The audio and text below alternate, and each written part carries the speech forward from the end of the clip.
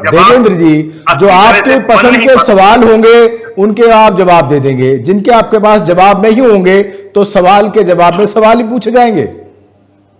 नहीं ये ये ये सर अच्छी बात है जैसे कह रहे हैं मारूफ साहब ये ये चीज़ उन्होंने कहा अडानी को लेकर अडानी को गंभीरता से इसलिए नहीं दिया जा रहा इस सवाल पर अच्छा कि आप अडानी के धन की चर्चा कर रहे थे हम्म। आप अब से पहले अंबानी की भी करिए हम्म। क्या ये जो उद्योगपति हैं ये भारतीय जनता पार्टी के आठ साल के कार्यकाल में बने हैं हम्म। इससे पहले उद्योगपति आप इस उद्योगपति आप। उद्योगपतियों पर।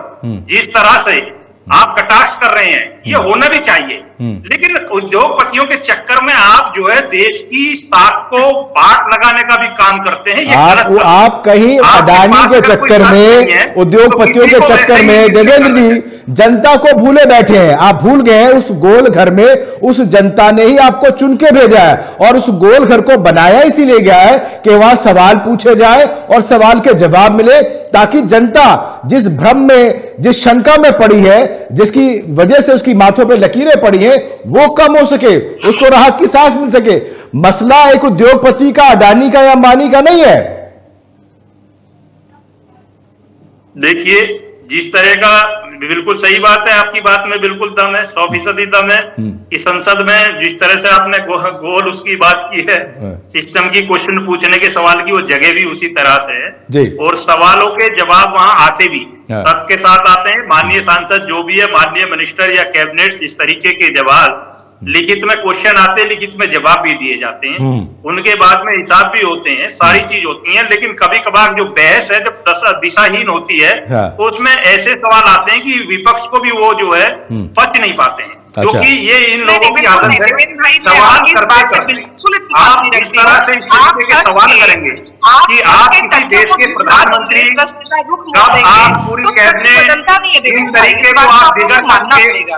आप जो है सवाल दाग रहे हैं उस सवाल में आपके में दम नहीं होता। जो अच्छा। सवाल में दम हो जो तत्व हो सवाल पर बोलने आप अच्छी अपनी भूमिका निभानी है। जी भूमिका बनानी है।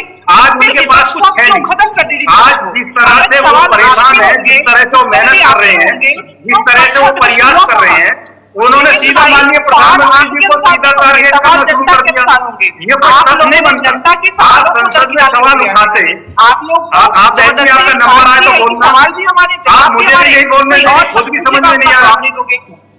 आप मैं ये कह रहा हूँ नहीं। जब आपका नंबर आए तो आपकी बात भी समझ में नहीं आ रही मेरी नहीं आ रही। आपकी बात आप सुनिए ना। जवाब भी आपको आप बोलिए आप परेशान मत होइए। आप परेशान मत होइए आपका पूरा मौका पूछ मिले मैं तो आप आपसे इतना पूछ रही हूँ कि सवाल आपके अकॉर्डिंगली नहीं होगा ना।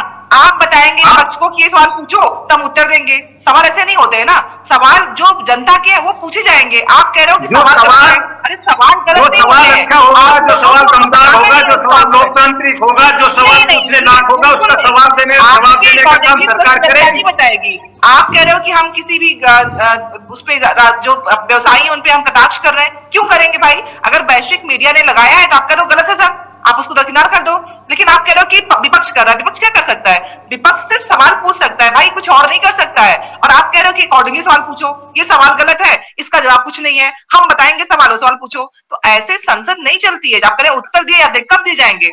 सवाल आप बता रहे हो, उत्तर आप बताओगे नहीं तो संसद की गरिमा कहाँ है? कम से कम सवाल तो हमारे हो, उत्तर आपके होने चाहिए।